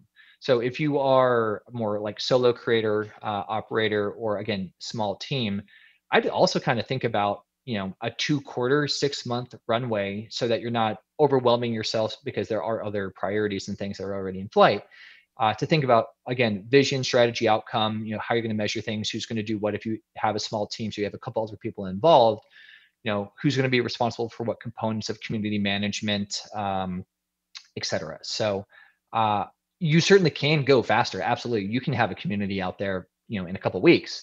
Uh, yeah. but you know i'm trying to read into the question a bit. So it's a smaller organization but it's not just maybe one person um, you have other things in flight other priorities things that are happening in, in the course of the business. So yeah if you spent like a quarter or two you know three months to six months you can throttle kind of within those goalposts. I think that's a healthy amount of time to get some um, you know reflection from members that you trust. Maybe you're in a mastermind group or you have other creator friends that might you know want to weigh in or, or you would trust to go to to kind of validate or invalidate some of your thinking. Like and that's sorry to maybe um, kind of get lost some of the detail, but like that's how I think about the whole process, right? You know, we do a lot of idea validation, you know, kind of R and D a little bit um, before we really kind of you know launch something. So that whole that whole process before you really maybe want to like launch something, I think about like in a three to six month window. Yeah, and then as far as like after you have a community, how much would a time commitment uh, be required to um, keep it running smooth and, and and keep the party going? Yeah, uh, Jillian spends a lot of her time in you know SPI Pro. Other members of the team, even Mindy, our phenomenal solutions manager, because uh, we get a lot of questions on you know technology uh, from other creators, and and she's our solutions manager and just can go gangbusters on that stuff. So you know a couple hours a week for sure in terms of like maybe the average person Jillian spends more but again like this is it's a little bit of a cir- circular question where like what is what is the design of the community exactly you know, how much of that is is based on event how much of it is based on not events but published content like and sort of all the other kind of considerations so that's that's a great way to think about it. yeah like if you have a time commitment cap like i am limited to blank right i am limited to gosh i, I only think that i can spend four hours a week eight hours a week like doing anything related to community then mm-hmm. embrace that design constraint and embrace the constraint of like okay that's how much time i have and then make make community related decisions inside of that constraint. Awesome. Thank you. You mentioned mindy. Mindy is here too by the way in the chat. She says hello. Hi mindy. Uh, shout out to you oh, for mindy. all that you do. Um, two quick questions that just came in and we're going to finish up on this uh, tips to roll out events with a small group the no show rate is a problem so this is great, and Jillian mm-hmm. will be mm-hmm. talking more about this as far as creating events and getting people to show up. But a couple things you can position it as uh, an event that not necessarily people have to go to to get value from right the replay or just the bonuses you're there live but this is content that's being created for the purpose of having it be part of the library if you will and that's a great way to frame it so that you're less focused on how many people show up live that's just a bonus for people versus um, it's a resource that's going to be in the library. Just people who are there live have the opportunity to ask questions. Number one. Number two, making sure that that planning for that event and Circle has events that you can kind of have RSVPs for is there, and people get notified and they kind of understand that. And plus, the last thing with events is you have to sell it like what's the purpose of a person taking time out of their day to come just like we sold cx day here for you because this is all obviously important to you and you're still here and we were so grateful for that. Um, you have to sell the events that you're creating. What what what will a person get out of that? And um, and the more that you can get people into a routine over time that these events especially if they're recurring the more likely they are to just bake it into their schedule and have it be a part of the culture of of the business and of the um, of the brand. Uh, and then finally here a quick one for you matt. Juliana says I think Matt mentioned a site for measuring progress, parametrics or uh, something. Uh, Baremetrics. I think someone I saw in the chat hmm. responded. B A R E metrics. B A R E metrics.com. Awesome. And don't forget, up next, Workshop 2 starts in about one hour, 20 minutes with Andy and Alexis. How to easily set up a home for your community. A look behind the scenes at the most popular community setups on Circle, and then Jillian later this afternoon. Chat, this has been wonderful. Thank you so much, Matt. This was a pleasure, and I'm grateful that the replay is so already available for people as soon as we hit end broadcast. So thank you so much. The link for Workshop 2 is in the description if you want to just open that up now so you're ready in there already. Um, and again, uh, if if uh, I'll get some answers for you as far as like when the bonuses will show up, but I promise you we'll get them to show up, and it might be after the event if you don't have them already. So uh, yeah, there we go. Thank you so much, everybody. Hope you enjoyed, and Thanks, everybody. Uh, looking forward to seeing you on the next one. Cheers.